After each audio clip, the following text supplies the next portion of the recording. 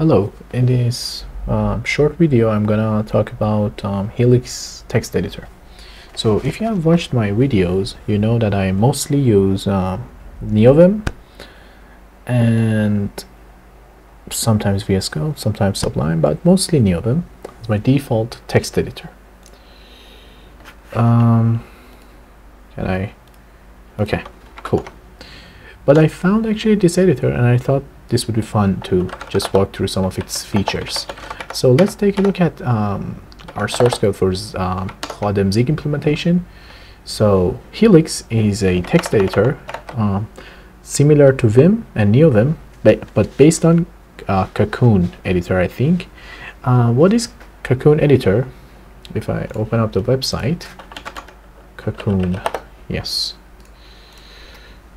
Kakoune is a modal editor but with a different approach than Vim.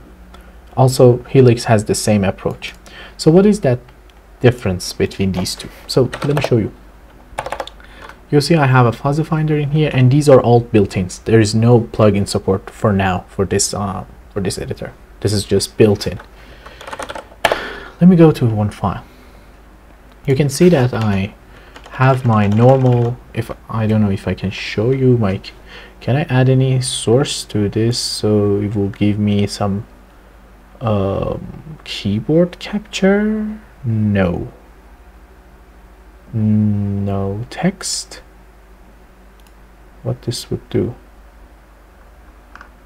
Um, text file. Okay no. Not this one. Let me just remove this from here I should actually find a way to show my keys presses but um, I am using um, okay.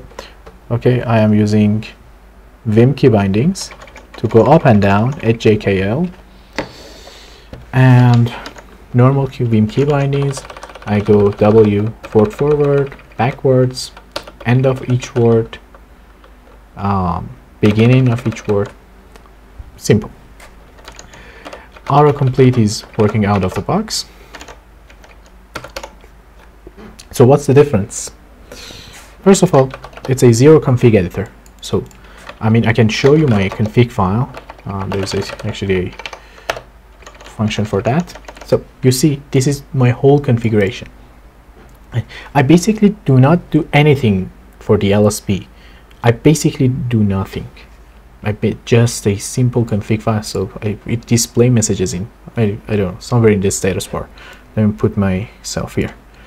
Uh, okay so this is the status bar looks like Vim um, let's back into the code get back into the code. So what's the difference? The difference is with the idea of edit how to, to edit the text. So in Vim this is normal to say for example I want to delete this word right I'm inside. So I say DIW, delete inner word.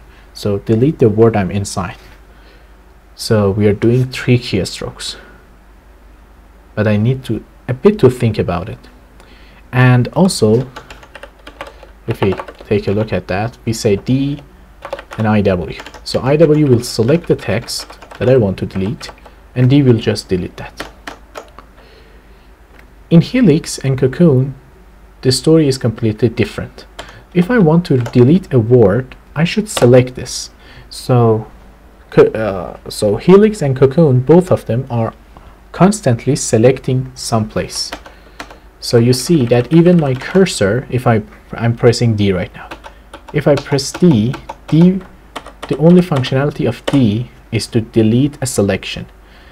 And my cursor is just selecting that one character if I do B I select until the beginning of the word. If I say E I select until the end of the current word. Okay? So and then I can do D. So basically it it has the modal editing but actually it looks more similar to other text editors so for example you select something with shift and arrow keys or mouse and then do the operation. So basically how you edit is you select the object and then you select the verb or what you want to do. In opposite of Vim and NeoVim that you first say what you want to do and then what area or where you want to do it. And this is actually really nice because um, it lets you um, do some nice stuff. It lets it, it lets you most of the times have um, we split new. I rather have this close this and actually close this. So imagine I have this hello hello or hello. Imagine I have this text and I want to change it all. I select everything so I select everything I'm in a select mode I then do select and I say only select hello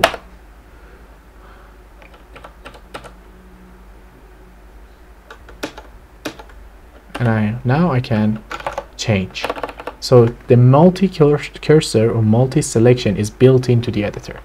There's no need to any plugin and you see that I can have these.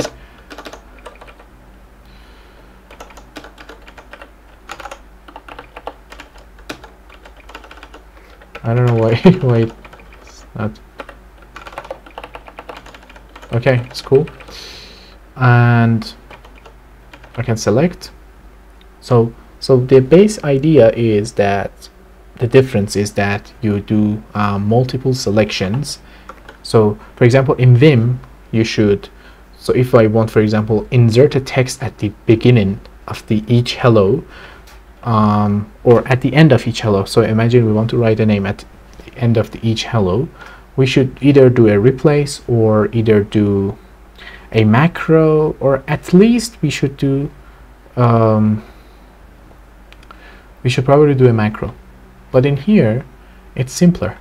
I say select all hellos, and then I append to them my name, for example. And that's it. I did it.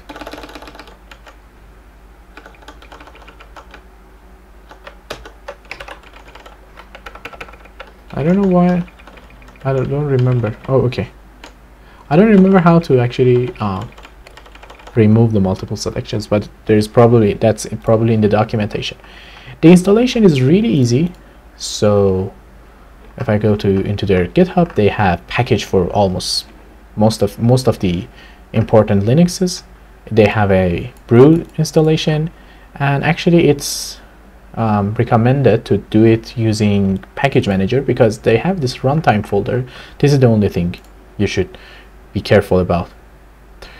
And this should be in a yeah, path that um, this uh, there was this environment variable in here helix runtime path should be the same at place at the, the same place um, should point to uh, where you put the runtime folder uh, it is using um, for uh, for syntax highlighting not regex so it's su super fast. And also there are things you can probably do this is at very early stages but there are things you can probably do with the um, with queries. There are a lot of uh, let me get back into where I was okay? There are a lot of uh, built-in themes and this is actually and there is a good document on the local website on how to create new themes. Um, there are multiples of them.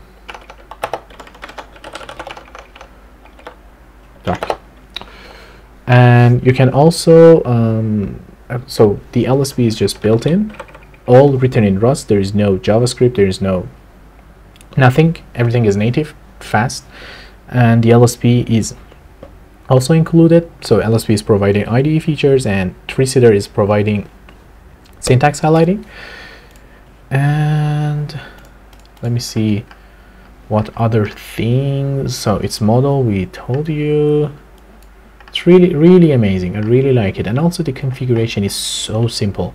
I mean it's um it's really I think um, simpler to configure this I mean the key bindings everything is so simple I really love this I really love this I mean when I compare this functionality that I get without any configuration and I have the simplicity, I have the speed, I have everything from Vim and NeoVim, but I also have simplicity of configuration. I don't need to do configuring every language server myself or anything, and I have configured them a lot.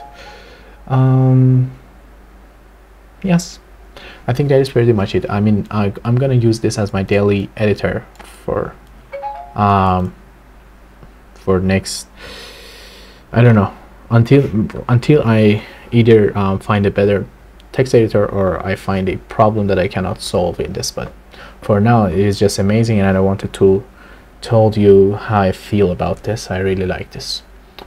Um, yes, that is pretty much it. And um, my phone is just ringing. yes. So that's pretty much it. If you like my content, please like and subscribe and follow. You can uh, come contact me with using comments, Twitter, email, etc. That is pretty much it. And until the next video, maybe I do some more of these short videos that I uh, a tool or something. I love tools and talking about tools. So yes, that is pretty much it. Until the next video, goodbye.